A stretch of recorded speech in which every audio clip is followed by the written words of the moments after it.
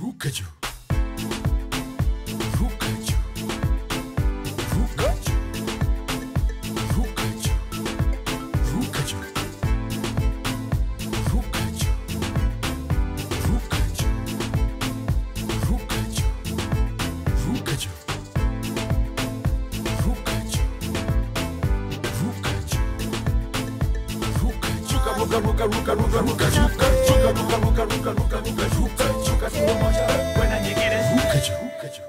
Mdundo huo unajua tayari ruka juu imenoga. Hakuna kucheza mbali na runinga yako.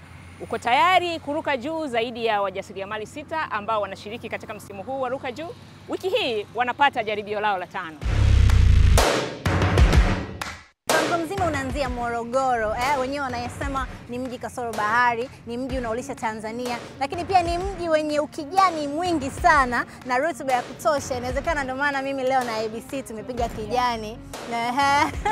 na hapa tulipo panaitwa Msamvu. Hili ni eneo maarufu sana kwa wafanyabiashara wa Tanzania. Kama ni mfanyabiashara utakuwa unaisoma hii zaidi. Um, ni, ni, mzunguko muhimu sana huu, unaunganisha mikoa mbalimbali ya Tanzania. Nyuma yetu ni mji wa Morogoro wenyewe, kulia kwetu hapo unaelekea Dar es Salaam, kushoto unaelekea Iringa pamoja na mikoa mingine ya nyanda za juu kusini, lakini mbele yetu unaelekea Dodoma pamoja na mikoa mingine ya kati ya Tanzania, magharibi. Hata ukitaka kwenda kaskazini mwa Tanzania pia unaweza kwenda, lakini bidhaa nyingi sana za mazao ya kilimo na mifugo zinapita hapa katika mzunguko huu zikiwa katika safari yake ya kuwafikia walaji. Kwa hiyo kama ni mfanyabiashara ukielekea Dodoma, Morogoro, Iringa au unatokea Dar, hapa ni lazima upite. Utapita tu. Ehe, na leo mkakati mzima, zile bahasha zinahusika kujua mkakati wa uh, mkakati wa kumfikia sana mlaji. mlaji, kama soko, usambazaji, ehe, usafirishaji, yote hayo. Tena umesema bahasha, sasa umenikumbusha hizi bahasha ne, zinazungumzia mikakati. Mkakati huo, na bila mkakati biashara haiendi.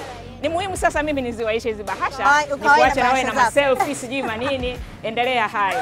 Basi katika kuwafikia walaji, mimi naweza kuwa mlaji namba moja na wewe ukawa mlaji namba mbili, lakini mimi na wewe safari aishie hapa. Tunakutana Facebook, Twitter, Instagram, YouTube, kote huko tunafahamika kama Femina Hip. Naomba uniambie mkakati wako wa masoko, wa mauzo na usambazaji uko vipi? Lakini pia unaweza kunitafuta mimi kupitia akaunti yangu unayoiona hapo, alafu mwisho wa siku mimi na wewe tunaruka juu zaidi ruka ruka ruka juu ruka sura Kumbuka kuwa washiriki watapewa alama na majaji wetu katika jaribio la leo. Wewe pia una mchango. Mpango mzima wa kupiga kura unakuhusu wewe na majaji. Kura zenu wote kwa pamoja mtaamua nani atusue na nani azingue. Ili kumpigia kura mshiriki unayeona anastahili kushinda, nenda katika sehemu ya ujumbe mfupi kwenye simu yako, kisha andika neno ruka likifuatiwa na namba ya mshiriki wako mfano ruka moja bila kuacha nafasi wala kuandika neno lolote mbele. Kisha tuma kwenda 0753003001 kumbuka kupiga kura ni mara moja tu kwa wiki. Kama kawa lazima tumulike matokeo ya wiki iliyopita katika jaribio la nne. Je yeah, ni nani ametusua jumla ya kura za watazamaji ni kura 2108 na washiriki wamepata kura katika mgawanyo huu hapo unauona kwenye tv yako. Na jumla ya kura za majaji ni kura 123 na washiriki wamepata kura katika mgawanyo huu hapo pia unauona katika tv yako. Sasa basi ili kufahamu nani kapata nini na kapata asilimia ngapi katika jaribio hili la nne tunakokotoa asilimia 40 za watazamaji na asilimia 60 za majaji. Na kila mshiriki ametusua na asilimia zifuatazo.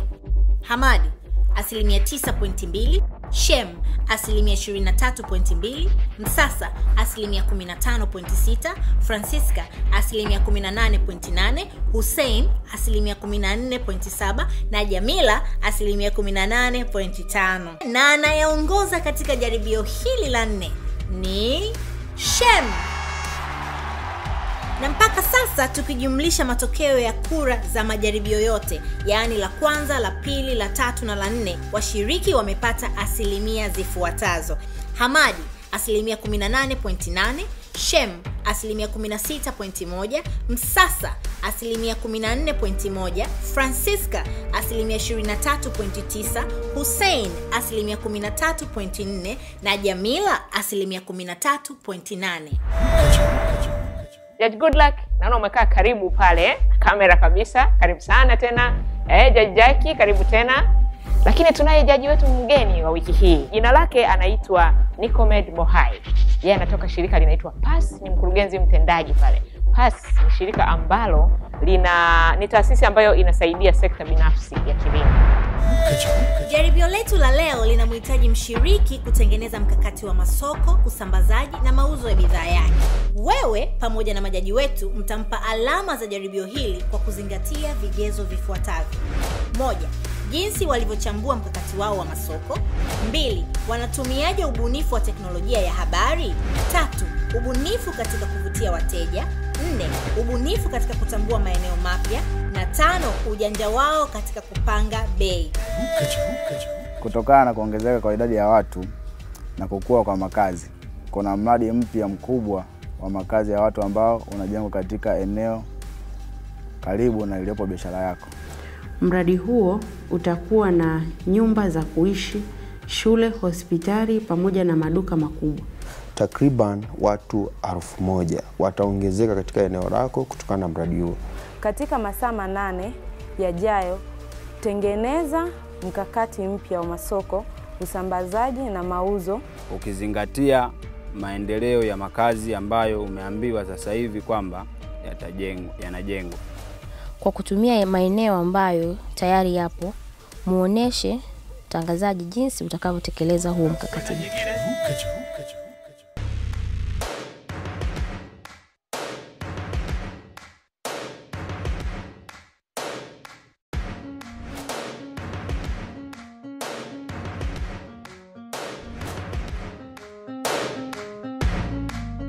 Huu ndo mkakati wangu mpya. Nitahakikisha kwenye upande wa masoko tengeneza bidhaa iliyokuwa bora ambayo wateja wataipenda, na pia kwenye usambazaji wa bidhaa nitasambaza kwa kila mahali ambapo wateja au wahitaji wangu wapo. Nitasambaza mimi mwenyewe na nitasambaza kwa kutumia miguu, na pia na vijana wenzangu ambao tutasaidiana kusambaza hizo bidhaa. Upande wa mauzo nimekadiria watu, watu kama mia sita. Kwenye swala ya usambazaji nitasambaza lita mia na hamsini. Lita mia na hamsini kwa kila lita nitauza shilingi elfu moja na gharama hapa zinaonyesha, na kwenye kwa uandaji wa lita mia hamsini nitaandaa kwa gharama za shilingi elfu hamsini. Sabuni ya vipande ambayo ni sabuni dawa pia ni good soap nayo. Hapa nimekadiria wateja kwenye masoko nitapata watu mia tano. Hapa nitasambaza vipande kwenye swala la usambazaji nitasambaza vipande mia mbili na hamsini. Kwa hiyo hapa gharama za utengenezaji za uandaji ni shilingi elfu sabini. Mauzo ya jumla nauza shilingi laki na na hamsini. Kwenye mafuta dawa, mafuta ya kupaka ni mafuta ya magonjwa ya ngozi. Kwa hiyo hapa nimekadiria masoko au watu wateja walengwa mia nane na gharama za uandaji hii kwenye mafuta dawa ni shilingi laki moja. Mauzo ya jumla ni shilingi laki tatu. Sasa mimi nataka kujua tofauti ya mkakati wa zamani na tofauti, ya tofauti ya mkakati wa zamani na, to, na mkakati mpya kwa vitendo. Nataka kuona utafanyaje. Kama unavyoona katika mkakati wangu mpya, haya ndio majengo ya shule ya msingi Kungwe. Hapa ndio nakuja kusambazia bidhaa zangu. Nipo kwenye dispensari ya Kungwe. Hii ndio sehemu husika ambayo inasambazia bidhaa zangu. Mkakati mpya uta, utasaidia biashara yangu kukua, utakuwa mzuri zaidi tofauti na hapo awali. Kwangu mimi hayo naona kama ni matokeo ya mkakati, lakini sijausikia mkakati wenyewe, tofauti za kimkakati zenyewe. Zamani kwenye swala la masoko, kwenye masoko sikuwa natumia vipeperushi mm-hmm. E, sikuwa natumia vipeperushi, nilikuwa natumia tu matangazo ya mdomo. Ehe, sasa sasa hivi natumia vipeperushi, kwa hiyo hii ni natumia vipeperushi kutangaza bidhaa yangu, na zamani pia Kwenye swala la usambazaji, usambazaji nilikuwa sisambazi sehemu nyingi zaidi. Kwa hiyo sasa hivi nasambaza sehemu mbalimbali, kuanzia kwenye madispensary, kwenye watumishi wa shule za msingi na hata pia kwenye gurio kama hivi hapa Soweto. Nimemsikiliza Hussein, niliona kama hakutoa kiundani alivyokuwa anasema nitapeleka kila mahali, kila mahali ni wapi, lakini nimeona alivyoanza, alivyofika mwishoni akaongeza kwamba nitaenda dispensary. Kwa hiyo nikaona kwamba ni kitu kizuri, ameanza kuona kwamba okay, nitaenda wapi na hii na, na hii bidhaa yangu, bidhaa yake ambaye ni nzuri, ni sabuni, ni madawa, nini, hiyo ni sehemu nzuri ya, ku, ya kupeleka bidhaa yake. Kwa niona amejitahidi sana kwenye hilo. Uh, upande wa pili kwenye mkakati wa masoko mwanzoni pia alikuwa hana mkakati kwenye mkakati wake wa awali alikuwa hana mkakati maalum, lakini mbele alivyokuwa anajielezea kwenye mkakati mpya akasema kwamba angetumia vitu kama vipeperushi. Yeah, nimeona amejitahidi kwa kweli.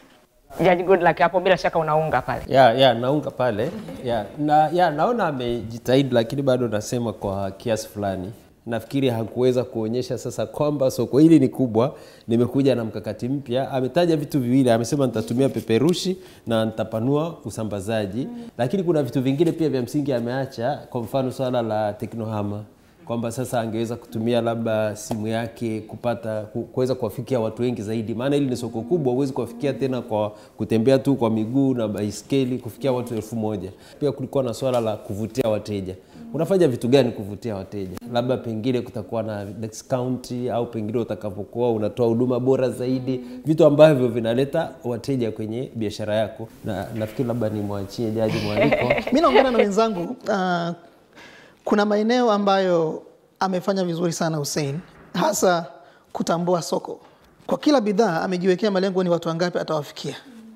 Kwa swala la pili, namna ya kulifikia soko, ameweza kueleza kwamba ata, ataweza kusambaza yeye mwenyewe au kwa kutumia baiskeli. Ni mkakati wa kulifikia soko. Nafikiri ni maeneo ambayo amefanya vizuri. Vile vile kuhusu mauzo, ameweza kuchanganua vizuri kabisa, akasema kwamba gharama yake ya uzalishaji ikoje na bei yake ya kuuza ikoje, na alikuwa ameonyesha wazi kwamba kuna faida ataipata, lakini kuna maeneo ambayo nafikiri alitakiwa aboreshe kidogo. Kwa mfano, tunasema wateja hawanunui bidhaa, wateja wananunua faida ya bidhaa.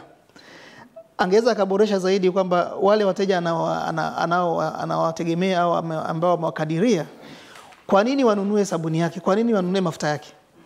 Eneo lingine jaji mwenzangu amesema uh, teknohama angeweza akatumia akasema wale wateja wake hawa alo- alo- alo- aliwakadiria atatumia mkakati gani wa kuwafikishia habari kuhusu bidhaa yake.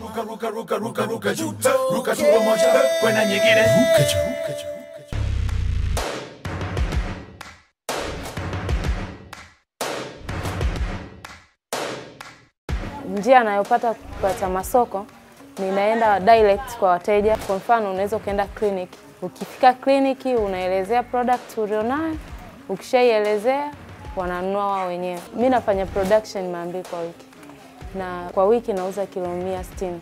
Mm. Lakini mkakati unakuwa ukoje? Nakuwa nimejipanga kwa kuandaa wale watu, mzigo unapoingia utoke moja kwa moja kwa wale watu. Kwa hiyo mzigo unapoingia, nakuwa nimepiga simu zote weekend.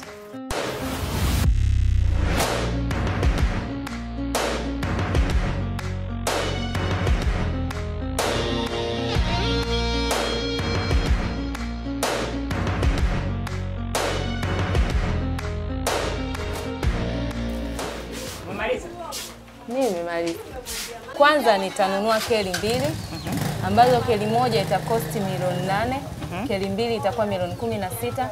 Katika keli moja nitaajiri vijana wawili, kijana mmoja atakuwa ni wa mauzo na masoko na kijana mwingine atakuwa ni dreva. Pia katika bado zitauzika kilo mia nane katika hizo keli mbili.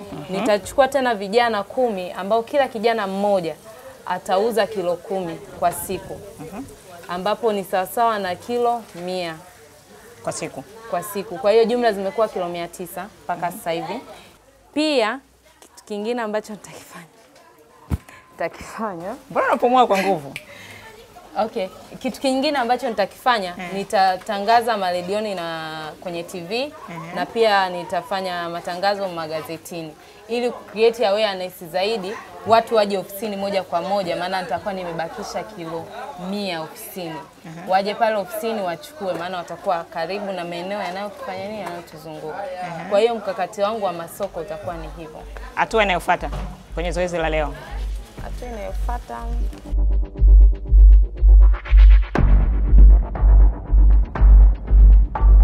hivi Kiswahili gani?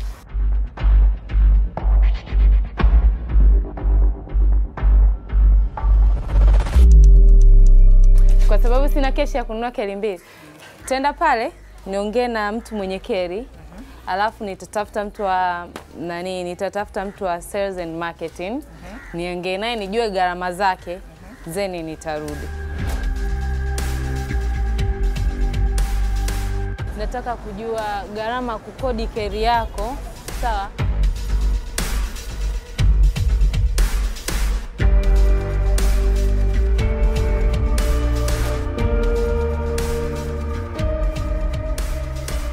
Nimebadilisha ile ya mwanzo, sasa hivi ni nyingine, maana kununua keri ni very expensive na hii kitu imekuja very urgent katika eneo nilionalo. Kwa hiyo nitakodisha keri ambayo ni kwa mwezi itakuwa milioni mbili na laki moja. Kwenye keli kutakuwa na mtu ambaye atafanya usambazaji wa masoko na mauzo. Tunakuja kwenye mauzo. Kwenye mauzo tutazalisha kilo elfu moja mia tano kwa siku. Kwa mwaka mzima tutazalisha kilo laki tano, laki tano na arobaini. Hizo ni tani sasa. E, ni tani kwa mwaka kwa mwaka kwa mwaka ni hela nyingi, ina ni bilioni moja uh -huh. na milioni tatu na eh, hii sijui shingapi, hela nyingi Bilioni moja milioni mia tatu hamsini. eh, ya bilioni moja na milioni tatu mia tatu hamsini. Umeenda umeenda sana kwenye faida kwenye na mahesabu, lakini mkakati wa Mas, masoko masoko siusikii. masoko atakuwepo mtu ambaye ana ndo hii hapa, atakuwepo mtu ambaye anazunguka na ile keli, anafika pale dukani, anaomba oda ili aweze kuuza. Tuanze na Jaji Goodluck. Kwanza nianze na vitu vizuri eh, alivyopokea hili zoezi amejaribu kuonyesha baadhi ya mikakati anayotumia. Ameonyesha kiasi anachouza kwa wiki, amesema anauza kilo 160 ni kitu kizuri. Uh, lakini pia amejaribu kuonyesha soko analolenga. Amesema kliniki na sehemu fulani fulani, pamoja na swala la kutafuta oda. Kutafuta oda ni kitu kizuri lakini uh, baada ya hii fursa kuja sasa ambayo tumekuwa tukiisema tangu mwanzoni, akaona uh, sasa hii ni biashara kubwa, kwa hiyo sasa ngoja aingie na mikakati mikubwa bila kufikiria ina gharama gani, na hiki ni kitu kiko kwa wajasiriamali wengi yani. Kwamba wewe umefurahia sasa, kuna fursa inakuja, wale hujaiona vizuri, akaingia kwanza kutaka kununua kiri, akakuta ni milioni kumi na sita. Sasa hii itakuwa gari, basi nitakodisha. Sasa alivyoenda kukodisha ndo akakuta mziki wake kwanza ni mkali zaidi, maana milioni mbili point moja kila mwezi, ambayo ni, ni gali bila kuangalia unauza kitu gani. Lakini pia kitu ambacho kimeonekana pale ni kwamba sasa amefanya mahesabu ambayo mi nafikiri yako hewani mpaka imefika mahali ameshindwa kusoma mauzo yatakuwa kiasi gani. Namba namba ndefu zile, namba ndefu Eh, na koma namba koma imekuwa nyingi. ndefu. Sasa baadaye akaangalia akaona sasa hii mbona inanishinda kusoma. Sasa mjasiriamali mwenyewe anafanya mauzo ambayo anashindwa kusoma. Kwa hiyo nina, nataka kuona kwamba uh, Jamila hizi uh, mahesabu anayotupa haya hayana, hayana ukweli. Kwa hiyo kwa kweli Jamila hajanifurahisha kwa maana ya ku, uh, kujibu haya maswali kama ilivyotakiwa. Nimeona amesema mkakati wake mkubwa, kila unapomuuliza mkakati wako nini, anajibu hilo lo keri. Kwake yeye keri ni aina moja tu ya usambazaji ambao alikuwa nayo kichwani. Nimehisi ah, no actually amesema promotion kila nyumba, lakini kila nyumba pamoja, nadhani ilikuwa ni kubeba na carry, si ndio? Eh, kwa hiyo mi kwangu mimi naona Jamila leo zoezi hajali hajalifanya vile ipasavyo, Hajalitendea haki. Mm. Haya, tunamaliza na hajaji wetu mwalikwa pale. Uh, mi nafikiri Jamila anawakilisha sehemu kubwa ya wajasiriamali wetu ambao tunaingia kwenye biashara kwa sababu tunaona kwamba kuna fursa ya kupata faida, lakini hatujatafakari hatujatafakari kwa kina tunaenda kufanya nini. na kama utaona alivyopewa zoezi hili alikuwa hakutafakari kwa kina nini kinachotakiwa. Akafikiri kwamba yuko tayari akaanza kuzungumza na mtangazaji pale. Baadaye akagundua kwamba hajuko hayuko tayari akaenda kujipanga tena. Ukiangalia mkakati wake amewaza sana kuhusu ame, amekuja na namba kubwa ya mauzo lakini hajatuambia kabisa gharama za uzalishaji. Kama ile faida kubwa alozungumza hakuzungumzia kabisa ile bidhaa amezungumzia gharama za usambazaji za wale wauzaji. Lakini hajatuambia malighafi ananunua wapi kwa bei gani na haijaweka ile kwenye mchanganuo wa faida yake. Asingeweza kupata faida kubwa kiasi hicho. Lakini vilevile vile hakusema kwamba atapata wapi mtaji wa kuweza kuwekeza sasa kuzalisha tani 1500 kwa siku.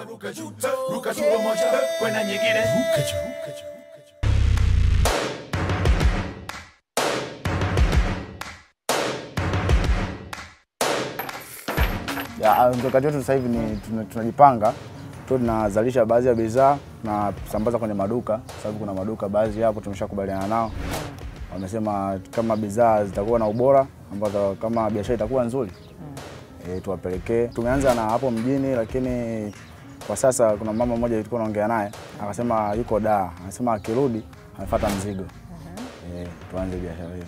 Kwa hivyo huu mkakati kuna mahali mmeuandika au mnao kichwani? Tunao kichwani, bado hatujauandika yeah. Kwa hiyo wewe, wewe kiongozi wa kikundi, wewe ndio una mkakati kichwani. E, mimi kwa sababu nilikuwa mimi ndo nafanya process. Sababu nilifanya process afu ndo nikaja nikawashirikisha wenzangu bado hatuja hatujauandika.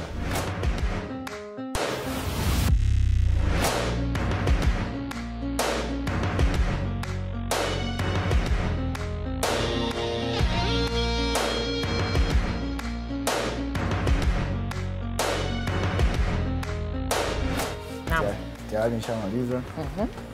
Katika swala la masoko Mm. lazima uwe na bidhaa. Sawa. Kwa hiyo sasa katika upande wa soko hili na yani tutasema kwamba tuna tuongeza uzalishaji mkubwa, yani kwa sababu sasa hivi ninavyozalisha ni uzalishaji mdogo, na maana watu wakishaongezeka katika eneo hili katika huo mradi Mm. ina maana tuna uwezo wa tuna tunaweza kuanza kuzalisha bidhaa nyingi kutokana na uhitaji mkubwa wa bidhaa za ngozi. Pia katika swala la usambazaji tuta, tutaongeza ubunifu ambao tutafungua duka letu la bidhaa za ngozi. Ukishafungua duka, ina maana mtu anajua kabisa hii duka linauza bidhaa za ngozi, ina maana yeye akitoka, ina maana anafika. Tofauti na hapa tunatengeneza, tunauza hapo hapo. Pia njia ambayo tutatumia katika usambazaji nyingine ni kuweka bidhaa zetu katika maduka mengine, yani tunaweza tukaomba katika maduka maduka ambayo unaweza uka, ukaomba ukasema kumwambia pasenti fulani itakuwa pasenti yako, au tunamuuzia kama atapendezwa na bidhaa zetu kwamba tunamuuzia kwa bei ambayo itakuwa ni pungufu tofauti na hiyo ambayo unaweza kumuuzia mtu kwa pea moja. Pia tutatumia njia nyingine ya usambazaji, yani ni katika mitandao ya kijamii, na maana watu wengi sasa hivi wanapenda sana mitandao ya kijamii na akaunti zetu za FB Mnayo akaunti? marketing ndo anayo ambaye Marketing ndo anayo Eh. Huyo mtu anaitwa marketing. ni marketing anahusika na masuala haya nanili yani yeye ana ina maana anakuwa ana posti picha picha za viatu kwamba viatu hivi hapa kiko hivi na hivi mm -hmm. kinauzwa bei fulani mm -hmm. labda ukihitaji mawasiliano hivi na hivi Na zamani mlikuwa mwitumie hivyo. Tunatumia mm Mhm. Naweza mtu akapendezwa na bidhaa zile tukafanya biashara Kwa hiyo hapo ndo umemaliza hapo. sasa ndo nikuonyesha labda baadhi ya sehemu ambazo nimepanga. Nianze na, na, na swala la kwanza la kufungua mtaji wetu wa nanili duka hapa. Tulikuwa tumeongea na mwenye hii nyumba uh -huh. kwamba tupate chumba kingine upande wa ndani ili tufanye sehemu kama ya biashara zaidi eneo, kwa sababu eneo ni dogo sana kufanyia kazi. Ukija ukiona kama tunavyofanya kazi tuna banana banana. Na njia ya pili hiyo ya kuwapa bidhaa baadhi ya watu wenye maduka Eh, naweza nikakutembeza baadhi ya sehemu. Sawa. Hii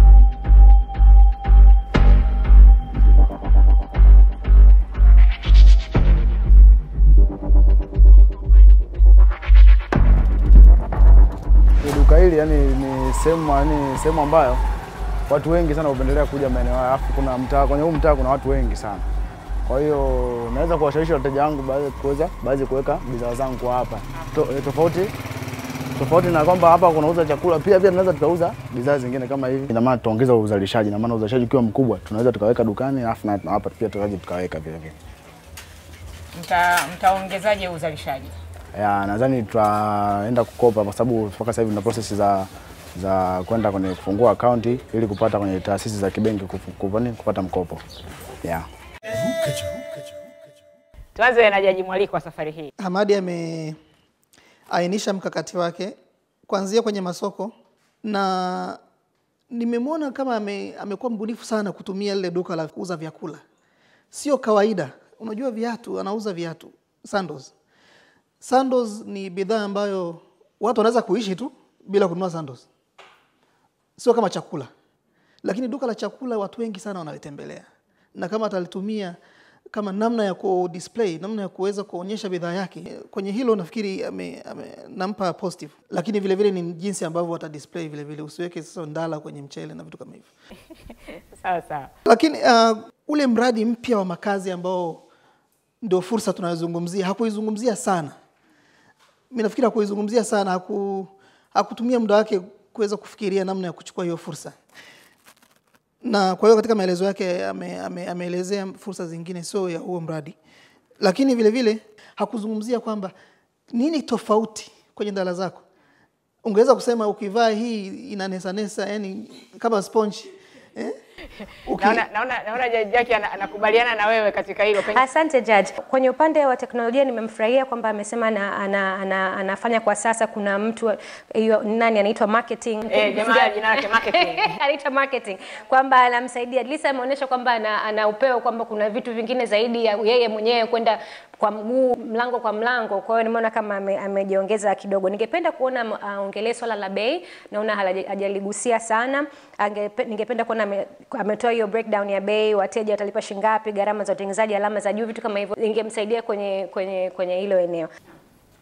Zamu yangu sasa nafikiri sana na- ya mimi nadhani uh, kwa kweli kwa ujumla ame, amejitahidi ila pale kidogo kwa jinsi alivyokuwa anaendesha hii biashara kabla hili swala la mkakati mpya amekueleza amemweleza mtangazaji kitu ambacho nafikiri ni, ni udhaifu wa wajasiriamali wengi wanasema mkakati huko kichwani. Kwa hiyo sijaandika kokote mkakati huko kichwani. Nafikiri kitu cha kujifunza kwamba mkakati mzuri ni mkakati ambao umeuandika ili uweze kufuatilia huwezi kukumbuka kila kitu amenifurahisha kwamba anaona sasa kama linakuja soko jipya inabidi niongeze uzalishaji niongeze na ubora ingawa hakusema ubora Mm. anaboresha nini ila pia kuna kitu cha kuangalia kwa makini hapa kwamba ukisikia tu kuna watu wanaingia mahali basi nawe unakimbia kuongeza uzalishaji mm. kuna umuhimu wa kujua lile soko linahitaji nini linahitaji bidhaa za namna gani pengine sio watu wanaohitaji sendos wanakuja pengine wanahamia sasa Dodoma, maafisa ambao wanahitaji viatu kabisa. Kwa ni vizuri kujua wanahitaji nini ili uweze kutengeneza bidhaa inaendana na kitu ambacho wana wanahitaji. Kabla ya yote, mkakati ungeanza na utafiti wa soko Yeah, yeah. pengine Ya, yeah, kwa haraka haraka tu kulielewa ile, lile i- wale watu wanaokuja na kuanza Wana sasa mikakati pale nilipo, ninaanza kuboresha taratibu taratibu, maana ya biashara ni hatua kwa hatua. kwenda nyingine Uh, ukiwa kama kijana ambaye unataka kuanza biashara au una biashara yako, kuna wakati ambao unaandaa mkakati wa masoko, mauzo na usambazaji. Je, unafikiria kuhusiana na mtandao wa kijamii? Unafikiria jinsi gani utaitumia Facebook, Twitter, Instagram na nyingine nyingi sana kutangaza biashara yako, lakini kupanua wigo wako wa mauzo na masoko? Nataka nifahamu hilo. Mi naitwa Lydia Charles, na yule kijana ambaye atakuwa anatumia mitandao ya kijamii atapata zawadi hii. Kila siku nasemaga hii ni torch. Eh, kipindi ambacho hakuna umeme nini, unaitumia usiku kuendelea kufanya kazi zako za kila siku. Kwa hiyo hebu tuende tukajue kama kweli vijana wanatumia mitandao ya kijamii au vipi.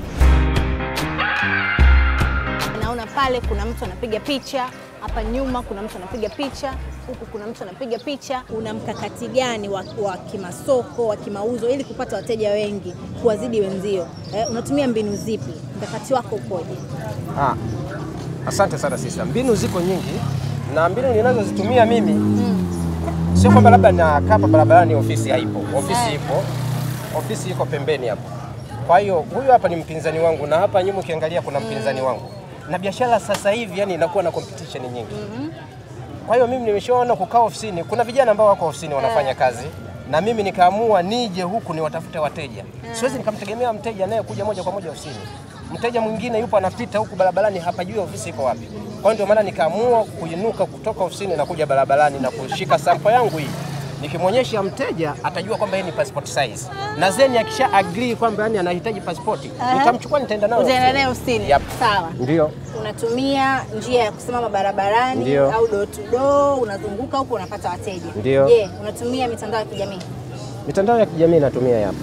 Kwa unatumia mtandao gani kujitangaza, ambao unasema mimi labda Petro au kampuni yetu fulani inapiga picha, tutafute kwa namba ya simu fulani, utapatikana sehemu fulani. Tunatumia WhatsApp, WhatsApp, Facebook Facebook na YouTube pia. na YouTube pia. Yeah. Na unapata wateja kupitia uh, mitandao Tunapata wateja, sio hii ya passport size.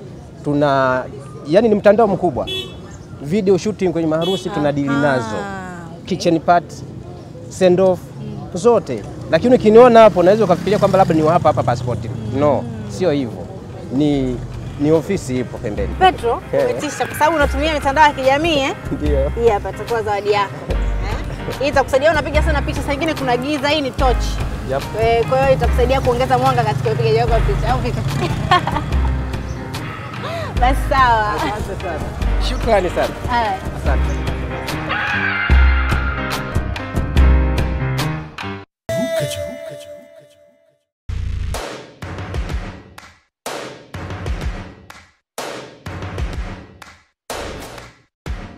Matangazo ambayo unayafanya kwa sasa, kwanza kushiriki hayo matamasha. Kwa nikifika kwenye tamasha huwa na express, alafu nasema nini nafanya, nafanyaje. Tangazo langu linapitia kwenye warsha kama hizo, lakini pia kwenye maonyesho ya biashara, lakini matangazo mengine nayafanya Facebook, akaunti yangu nilianzisha na Facebook akaunti ya kikundi kwa akaunti hizi zote mbili nafanya matangazo ya biashara yangu ya korosho.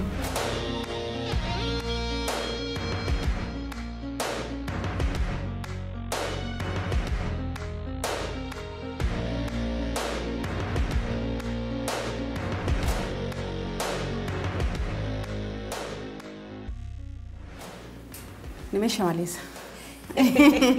Mbona maneno hayatoki? Umekaaje mkakati wako mpya? Huu mpango mkakati wa masoko mpya, kwa sababu wateja ambao waliopo wako Tandahimba, kwanza nimeangalia location ya kiwanda changu kitakuwa hapa Tandahimba kutokana na urahisi wa upatikanaji wa mazao, kwa sababu tuko jirani na mashamba, lakini pia haitatugharimu katika swala la usafirishaji wa ghafi kutoka mashambani mpaka kiwandani. Kwa itapunguza adha ile ya gharama lakini pia tutakuwa na karibu na hao watu elfu moja ambao tutawahudumia. Kwa hiyo njia za usambazaji zitakuwa tatu. Tatu. Ehe. Ya kwanza Ya kwanza itakuwa ni kwa watu binafsi, kwa hiyo sisi tutakuwa tunawapelekea wao majumbani. majumbani. Ehe. Lakini ya pili tutauza bidhaa zetu kwa wachuuzi. Kuna wale wanaouza huko mtaani, tutakuwa tunawapatia, alafu wao ndo watakuwa wanasambaza. Vifungashio vyenyewe vitakuwa vinaanzia gramu 75 mpaka kilo tano, lakini watatu ni wa jumla. Atakuwa hata mfumo wa ulipaji utakuwa ni tofauti na mtu wa rejareja. Matangazo kwa sasa tuko tu Facebook, WhatsApp angalau mm -hmm, na kwenye warsha, lakini baadaye tunategemea tutafanya matangazo redioni, kwa tutatumia redio Newala kurusha matangazo yetu, lakini pia tutajitahidi tufanye tangazo la TV una TV? Tandahimba hakuna TV, lakini TV iko Dar es Salaam, mm. ila watandaimba tunaona East Africa, mm -hmm. lakini pia tutaanzisha tovuti ya kiwanda. Aha. Tutasambaza pia vipeperushi, tutasambaza vijijini kwa kubandika vile vipeperushi kwenye mabao ya matangazo, labda kwenye kijiji au shule. Nimekuelewa. Yes. Sasa kuna kipengele kingine ambacho kiko hapo. Ndio. Kwa manake itabidi nijiandae kwa ajili ya kukupeleka hizo sehemu. Sawa, basi tuelekee huko kwenye maeneo.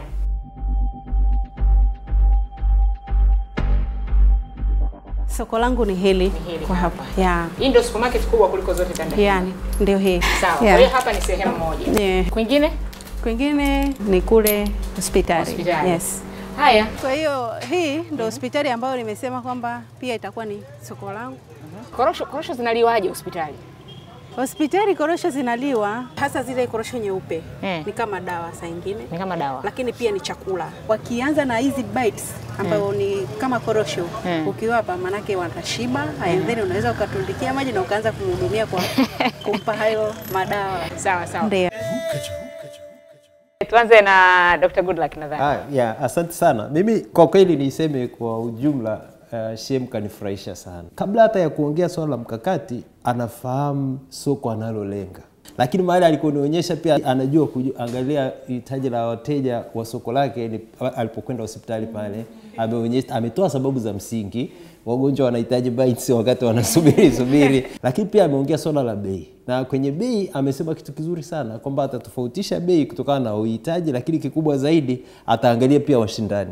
Lakini pia kwenye matangazo, ningemshauri pia kuna kutumia vyombo vya habari ni vizuri, lakini uwe makini, kwa sababu kwa mfano kutumia TV za kitaifa ni TV ambazo zina gharama, lakini kutumia redio za kijamii, kwa mfano alivyosema redio ile ya Newala ni jambo zuri kwa sababu inawezekana ikawa sio gharama kubwa sana na watu kule wanasikiliza.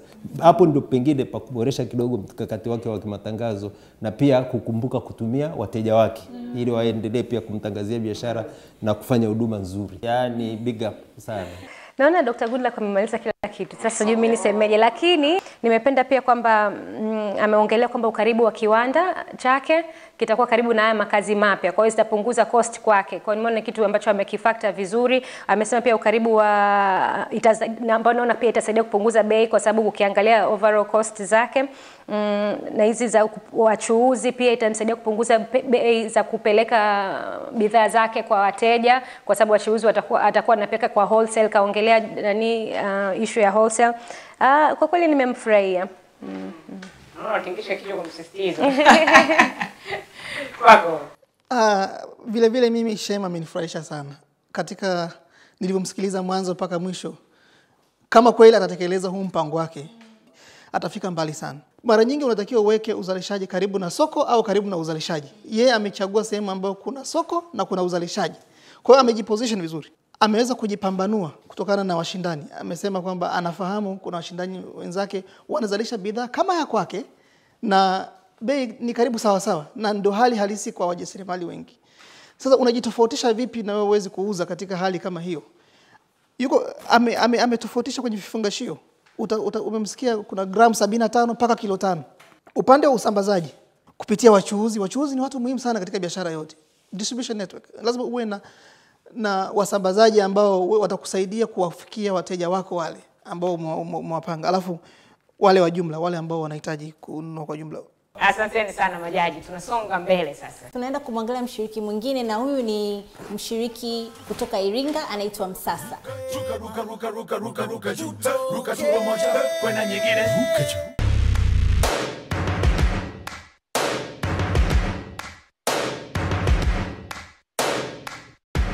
Kwenye upande wa usambazaji tulijaribu kuweza kutembelea maeneo tofauti tofauti, kwa mfano kwenye supermarket, alafu kwenye maduka ya kawaida hapa kwa hapa ndani ya Iringa. Kwenye maduka tu ya kawaida nafika pale unaomba oda, jamani, na bidhaa yangu hii hapa, nilikuwa napenda niweze kufanya biashara na nyie. Tunamwachia bidhaa anauza, alafu mwisho wa siku anatupa pesa.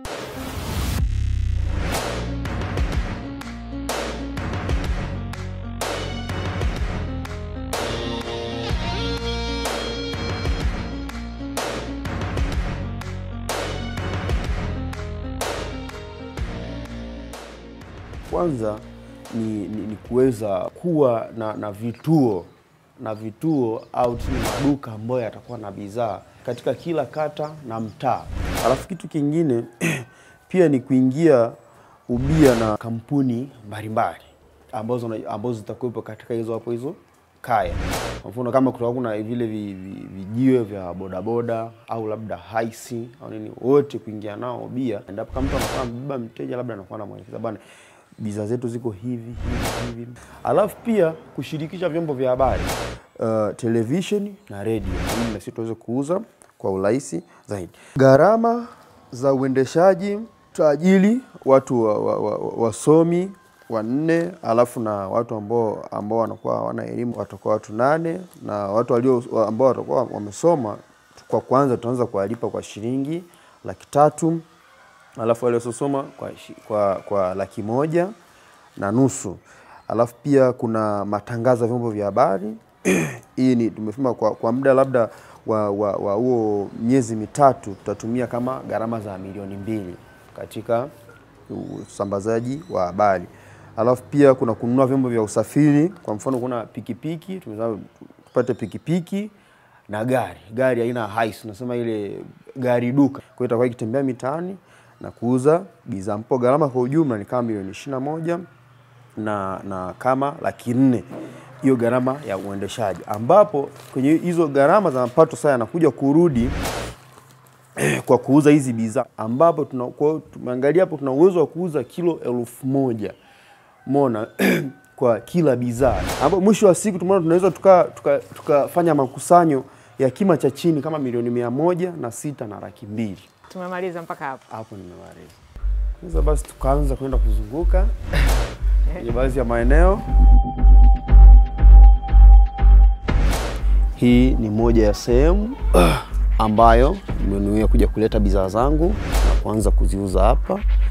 Uh, panaitwa kwa Mama Siovela na hapa natarajia kuita vizuri, kwa sababu kunakuwa kuna wateja wengi sana wa kizungu ndio wanakuwepo mara nyingi hapo, kwa na wenyewe najua wanapenda sana bidhaa za namna hii hapa.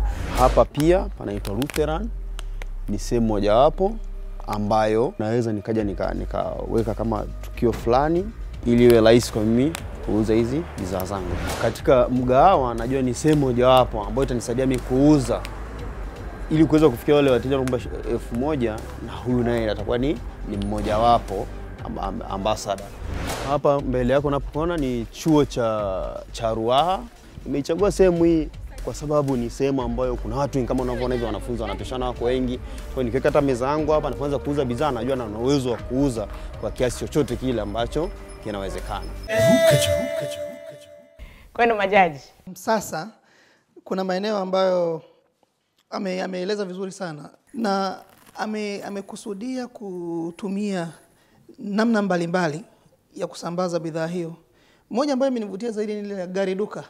Inaonekana ni mtaji mkubwa unatakiwa, lakini hajaeleza hajaeleza kwamba mtaji wa kufanya vile vyote unatokana na nini na nilitegemea labda swala la kutumia taasisi za fedha pale ingekuja au kukaribisha kukaribisha wawekezaji wenye mitaji katika biashara yake.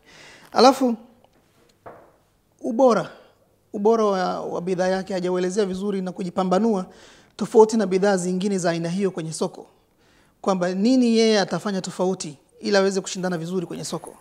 Sawa sawa, asante sana jaji wetu mwalikwa. Nadhani twende kwa kwa mstari tu, inapendeza. Nimefurahia nani wasilishaji wa Msasa, nimeona amejitahidi, uh, nimeona najua ma, nini bakiti yake vizuri.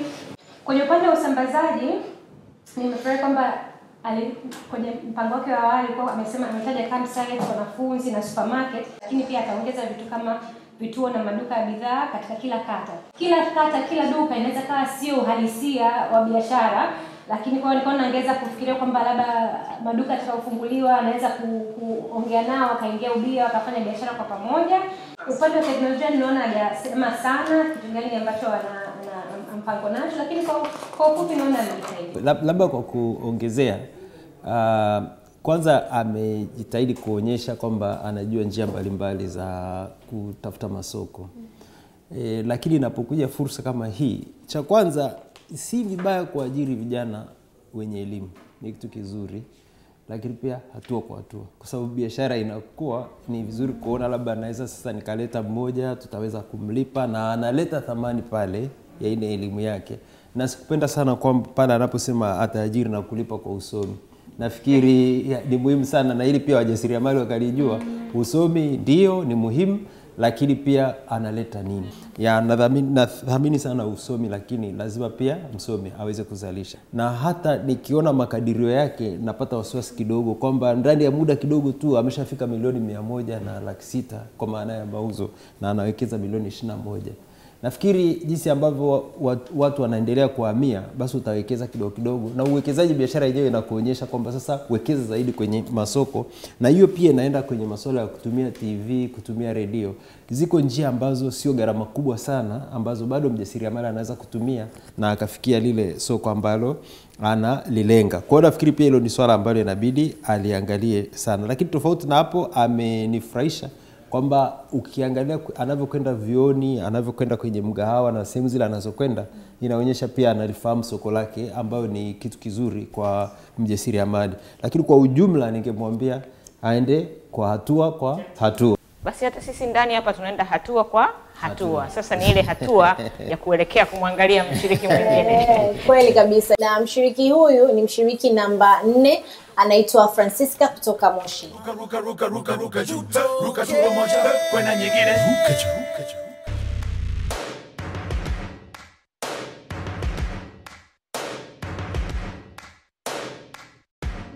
Pale ambapo ni, nataka kuwasambazia watu wa madukani, huwa napeleka sampo, anajiridhisha. Baada ya pale ndo kama atahitaji ananipa oda, ila pale ambapo niko na wateja wangu wa moja kwa moja, huwa napelekea moja kwa moja, wananunua hivyo. Kwa hiyo wateja wako wote unawafikia mguu kwa mguu? Ah, mara nyingi. Mara nyingi. Sawa. Hilo Hilo ni swala la usambazaji. Ndio. Masoko. Um, unataka kujua nini? Nataka kujua mkakati wako ukoje. Mkakati wangu Eh. masoko yangu, maduka, watu binafsi, hivyo ndio yalikuwa masoko yangu.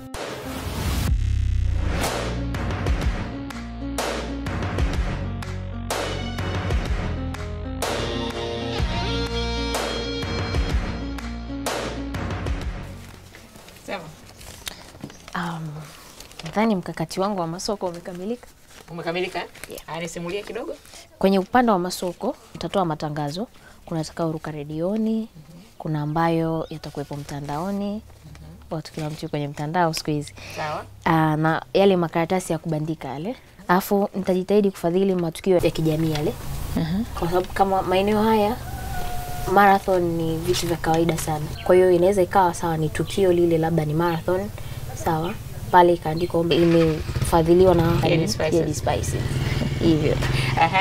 Aya, wakati mwingine unaofuata unasema hapo? Ah, nitajitahidi aidha nikipata watu wengine tuandae mashindano mm -hmm. ya mapishi, labda useme kama ni pilau, uh -huh. upewe nyama, upewe mchele, uh -huh. viungo hivi hapa, pika. Uh -huh. Kwao majaji wataonja kile chakula, yule ambaye chakula chake kitamu kuliko vyote uh -huh. anapata zawadi yake.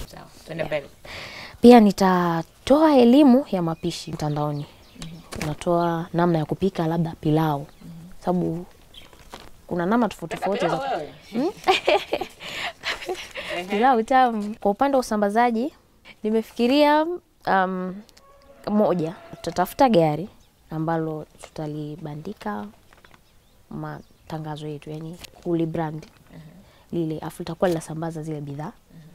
Ama tutatafuta kampuni ambayo tayari inasambaza bidhaa, yani tayari wana masoko yao, alafu tutaingia ubia na yule mtu atakuwa kama msambazaji wetu. Kwenye upande wa mauzo, kuna hilo duka lalotembea ili tusiwakose wale wateja wa majumbani. Kuna mtu ambaye endi mjini yeah. Um, na pia yule supadila tutakayemuuzia ambaye ndo atakuwa msambazaji pia tutamuuzia kwa bei pungufu au atakuwa anako, kulingana na mauzo anayoyafanya atakuwa anapata kamisheni yake. Twende. Ndo mpango wangu. Ndo mpango wako. Nimeona mpaka nyuma umeandika, nasubiri ugeuze. Nyuma niliandika mahali pa kwenda. Aha. Yeah. Eh, sawa. Kwa hiyo Okay, tutaenda Kili FM. Kili FM. Yeah, Kili FM na pia tutamtembelea mojawapo wa wasambazaji wakubwa Marenga. Marenga. Eh, ni msambazaji mkubwa. Sawa. Yeah, ndo mpango wangu. Haya. Kwa nini umechagua Marenga? Kwa nini umechagua Kili FM? Um, Kili FM ni redio ambayo tofauti na Moshi pia inasikika mikoa mingine ya karibu na hapa, kwa sababu nitakapotanuka sidhani kama itaishia nitaishia Kilimanjaro. Ningetamani ifike na mbali zaidi, na nimechagua Marenga pia kwa sababu na wenyewe pia huwa wanasambaza bidhaa mikoa mingine tofauti na Kilimanjaro. Tuwasikilize majaji. Mimi sasa hivi nataka nianze, ni- nachagua mimi sasa safari yangu. Nataka tuanze na Jaji Jaki katikati. Asante. Nimemsikiliza Francisca. Nimeona mwanzoni alisema kwenye upande wa usambazaji at, uh, kwenye mkakati wake wa sasa anauza madukani na anatembea mguu kwa mguu kusambaza bidhaa zake, na mkakati wake mpya amesema atatumia matukio ya kijamii marathon, lakini nimeona kama sehemu ambayo umetaja pia Kili FM redio ya mkoa inaweza kama ni ghali kwake kidogo, sijui kama anahitaji sana. Nimependa kwamba kwenye upande wa teknolojia amesema kila mtu yuko mtandaoni, lakini hakuelezea haswa ni mtandao gani ambao angetumia yeye au utamuhusu yeye moja kwa moja, lakini nimeona kama hajaelewa sana watu wake, anataka kuwatafuta kuwapata, kuwafikia ni kina nani. Ningependa akae tena ajaribu ku, ku, kufikiria kwa undani. Asante. Okay, yeah. Kuna fursa nyingine kama hizi za kwenda nje ya mikoa na nini alizoongea Francisca ni nzuri, lakini tumesisitiza hatua kwa hatua. Kwa sasa hivi alikuwa anashughulika na ile fursa ambayo imekuja. Kwa nafikiri ni vizuri kwa wajasiriamali kulielewa hilo tunapoongea mkakati wa, wa soko. Kwa unaposema kwa mfano nitaandaa mashindano, nitafadhili marathon, ni vitu vizuri, lakini usisahau kuangalia gharama. lakini naomba nisisitize moja, ule mkakati wake wa kufanya mashindano ya mpishi, na amesema atatoa elimu mtandaoni, kwamba ataonyesha jinsi unavyoweza kutumia vile viungo vyake kwenye mapishi na jinsi kile chakula kitakavyokuwa kitamu. Kitamu, yes. Watanunua wateja utamu wa chakula. Imelifanya vizuri sana upande huo. Kingine ni mtaji wa kufanya ule mkakati wake. Hajazungumzia mtaji anapata wapi, amezungumzia vitu vikubwa. Ni mkakati mzuri, lakini unatakiwa ni mkakati ambao hauna gharama kubwa kwa kuanzia. Eneo lingine ambalo inabidi aliangalieni, hajazungumzia kabisa kuhusu washindani wengine wanauza viungo, kwamba katika hilo eneo yeye amejipanga namna gani. Umemaliza kwa nukta ya haraka haraka, mimi nikajua unaendelea bado. kwenda nyingine Mpango mzima wa kupiga kura unakuhusu wewe na majaji. Kura zenu wote kwa pamoja mtaamua nani atusue na nani azingue. Ili kumpigia kura mshiriki unayeona anastahili kushinda, nenda katika sehemu ya ujumbe mfupi kwenye simu yako, kisha andika neno ruka likifuatiwa na namba ya mshiriki wako, mfano ruka moja, bila kuacha nafasi wala kuandika neno lolote mbele, kisha tuma kwenda 0753003001. Kumbuka kupiga kura ni mara moja tu kwa wiki. Haya, tumerudi. Majaji wetu wa nyumbani wako vipi? Wako vizuri pia, kwa sababu huu ndo ule muda wa kujua nani anaruka juu zaidi yao. Kwa upande wa nyumbani, tukirudi studio sasa, nataka kujua, tulianza na Huseni. Ujue Huseni, nataka kujua mmempa alama ngapi? Tuanze na nani? Tuanze na jaji yake, naona anajificha kidogo. Eh, Tuanza na wewe. okay. Huseni. Umempa alama saba. Jaji wetu mgeni Huseni, umempa alama ngapi? Alama tano. Sasa nikapata alama tano kutoka kwa jaji mgeni. Jaji Goodluck. Tano. Ah, haya, sio mbali sana. Jamila. Jamila. Jamila. Jamila, tatu. Jamila, Jamila umempa alama tatu. Jaji mgeni kwa Tatu tatu na alama tatu. Zimefanana hizi. Hamadi kutoka Dodoma, jaji yake amempa alama tano. Jaji mgeni amempa alama ngapi? Tano. Na jaji Goodluck ikiwa tano nitacheka. Ah, mimi nimempa Nane. Nane. Imekuwa mbali kidogo hiyo, eh? imekuwa tofauti kidogo. Haya, Shem sasa. Yeah, anafuata Shem Shem. kutoka Mtwara. Nane. Nane. Jaji wetu mgeni umempa Shem alama ngapi? Kumi. Mara ya kwanza. Alama kumi. Alama kumi. Dr. Goodluck? Tisa. Tisa. Karibu na kumi, si mbali sana. Jaji Jackie. Mshiriki wetu anayefuata sasa. Sasa. Sita. Alama sita. Alama sita jaji mgeni. Jaji, aha, alama nne Nne. kwa msasa. Na alama sita, Sita. kutoka kwa Jaji Goodluck. Baada ya pale Anafuata Francisca. Francisca Jessica. alama sita kutoka kwako. Alama ngapi kutoka kwa jaji mgeni? Saba pale, halafu kutoka kwa Goodluck alama saba. Kama kawa kama dawa, Facebook, Twitter na Instagram ndo senta yetu ya kulike, kucomment, kushare na kujibu swali la wiki kupitia hashtag ya ruka juu zaidi yao. Ili kuwafahamu washiriki wa wiki iliyopita, tujue kwanza walijibu swali gani. Swali la wiki iliyopita liliuliza utambulisho, muonekano na ufungashaji wa bidhaa vina mchango gani katika kukua kwa biashara yako? Na mshindi wetu wa kwanza anatoka Facebook anaitwa Julio Aguero amejishindia t-shirt ya ruka juu na taa ya nishati ya jua ya Lito Sun. Mshindi wetu wa pili anatokea Instagram anaitwa Jakima8894. Yeye amejishindia t-shirt ya ruka juu. Hata wewe unaweza kuwa mshindi endapo utajibu swali letu la wiki hii ambalo linauliza ni mambo gani ya kuzingatia unapotengeneza mkakati wa masoko, usambazaji na mauzo, bila kusahau kutumia hashtag ya ruka juu zaidi yao na kutufuata katika mitandao ya kijamii Facebook, Twitter na Instagram. Tunafahamika kama Femina Hip.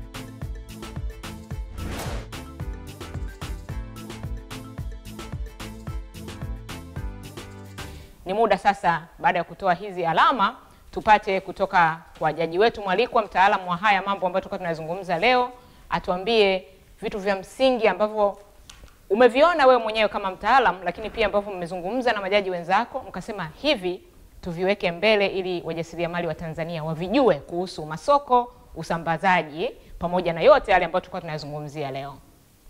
Asante sana. Ah, hawa walioshiriki katika shindano hili la ruka juu wanawakilisha wajasiriamali wengi Tanzania. Na kitu cha msingi ni kwanza, unavyoingia kwenye biashara ujue mteja wako ni nani, na ukishamjua mteja wako ni nani, lazima uangalie katika yale maeneo ambayo mteja wako yule anapenda. Kitu cha pili, unauza nini? Ah, wajasiriamali leo uliona wameshiriki pale kwenye haya mashindano wame, kila mtu ana bidhaa aina tofauti, lakini wateja hawanunui bidhaa wateja wananunua faida ya bidhaa. Kama unauza nguo, wateja wananunua, wananunua kupendeza. Kitu kingine ambacho ni cha msingi sana ni mkakati.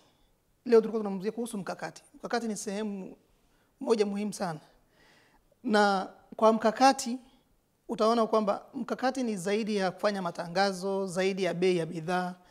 Mkakati ni zaidi ya hapo. Kwanza uanze na kutafakari. Wajasiriamali wengi sana wanaingia kwenye biashara bila kutafakari hiyo biashara yake anayoifanya. Kwanza anza kutafakari, chukua muda utafakari biashara unayoifanya, uandike mkakati. Wajasiriamali wengi hawaandiki mkakati, uko uko kichwani, na tuliona baadhi ya washirika wanasema mkakati uko kichwani, sijauandika popote. Karibu wote walikuwa hawajaandika mkakati wao, hawasemi kwamba nina mkakati huu hapa. Na unapoandika mkakati wako, fikiria ndani ya muda mfupi utafanya nini, ndani ya muda wa kati, ndani ya muda mrefu utafanya nini na wakati una, unapanga huo mkakati angalia hali halisi. Uhalisia. Lakini kwa ujumla ukiangalia washiriki wengi hawajajikita kwenye ile fursa mpya ya makazi mapya yanayojengwa. Wame- wamejikita kwenye biashara zao walizozoea siku zote. Yeah. na hii ni tatizo kwa kwa, kwa wajasiriamali wengi katika nchi yetu. Hatuoni fursa. Mjasiriamali anayefanikiwa ni yule ambaye anaiona fursa kabla wengine hawajaiona. Sasa tukifanya, ukifanya kazi kwa mazoea kwa kuangalia jinsi ulivyozoea kufanya siku zote, fursa zitakupita. Ni kweli kabisa. Na mimi basi kwa muda huu nitakuwa sina la ziada isipokuwa kuwashukuru majaji wetu kwa kazi ambayo wameifanya wiki hii. Nimshukuru sana jaji wetu mwalikwa, pia kwa masomo ambayo umetupatia pale mwisho, umepigilia mstari. Eh, karibu sana. Isiwe leo mwisho eh. Unaweza ukasema leo ruka juu, lakini na wakati mwingine ruka juu ipo inaendelea. Majaji wetu wa kudumu, tutakutana tena wiki ijayo. Bado kazi yenu ni nzuri na uh, kile ambacho mnakitoa bado kinahitajika kwa vijana wa Tanzania. Basi mpaka wiki ijayo. Ruka juu. Mwaka wako umefika kijana wa kufanikisha mipango yote ya maana. Mjasiriamali kijana, usichoke, kazana, pambana, ruka juu.